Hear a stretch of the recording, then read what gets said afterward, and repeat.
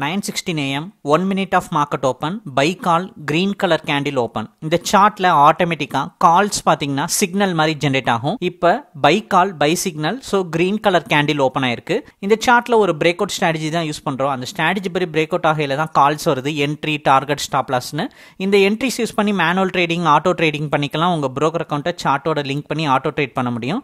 சார்ட்டோட plan detail இந்த chart வேணும்னா வாட்ஸ்அப்பில் ஹைன்னு ஒரு மெசேஜ் அனுப்புங்க. பேங்க் நிஃப்டி ஃபியூச்சரில் ஒன் மினிட் சார்ட்டில் கரெக்டாக தேர்ஸ்டே மார்க்கெட் செப்டம்பர் நைன்டீன்த்தில் நைன் சிக்ஸ்டீனுக்கு இந்த பை கால் வந்துச்சு.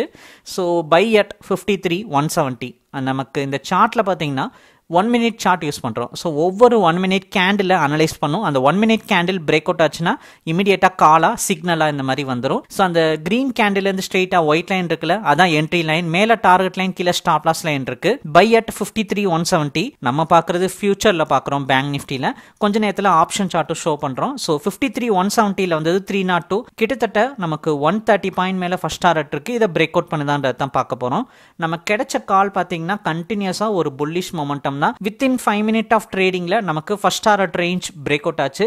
நல்ல புல்லிஷ் மொமெண்டம் தான். மார்க்கெட் அப்படியே ஏறிட்டே இருந்துச்சு. இந்த கேண்டிலும் நல்ல மொமெண்டம் அப்படியே மார்க்கெட் மேலே ஏறினதில் சிக்ஸ்த் கேண்டில் செகண்ட் டாரட் ரேஞ்சும் பிரேக் அவுட் ஆயிருக்கு. ஸோ நைன் ஃபிஃப்டீனுக்கு மார்க்கெட் ஓப்பன் ஆகுது. நைன் டுவெண்ட்டி ஒனுக்கு ரெண்டு டார்கெட் அச்சீவ் பண்ணி கால் ஃபினிஷே ஆயிருச்சு. அதே நேரம் ஆப்ஷன் சார்ட் பார்த்தீங்கன்னா நமக்கு நெக்ஸ்ட் பார்த்தீங்க அப்படின்னா மந்த் எக்ஸ்பெரி தான் இருக்கு.